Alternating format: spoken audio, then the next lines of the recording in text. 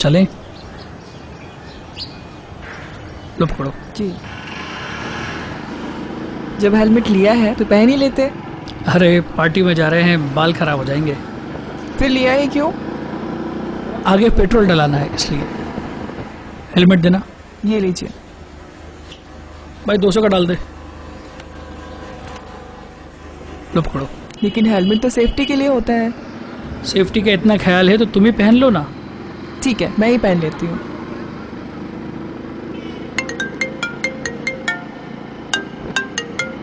हाँ बोल।